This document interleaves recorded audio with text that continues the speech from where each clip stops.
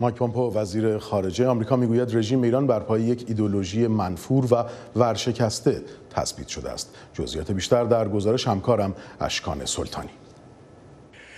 آقای پامپو در توییتی که منتشر کرد نوشت در حالی که رهبران کشورهای نرمال کامیابی مردم خود را ارتقا می دهند رژیم فعلا حاکم بر ایران در تلاش ارتقای تفرقه و یهود ستیزی است. وزیر خارجه آمریکا در این توییت تاکید کرده است ایرانی ها شایسته رژیمی بهتر از این هستند آقای پامپو پیشتر گفته بود دولت پرزیدنت ترامپ فشار بر رژیم ایران را برای پایان دادن حمایت آن رژیم از تروریسم و دیگر اقدامات بی ثبات کنندش ادامه می دهد.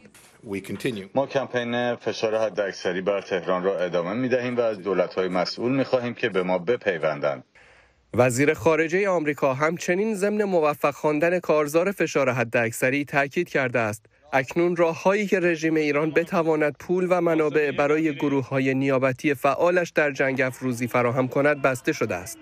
و دولت پرزیدنت ترامپ با تشکیل ائتلافی بزرگ از دولت‌های منطقه خاورمیانه و خلیج فارس مقابله با نفوذ مخرب رژیم ایران را در رأس اولویت‌ها قرار داده است. اشکان سلطانی، صدای آمریکا.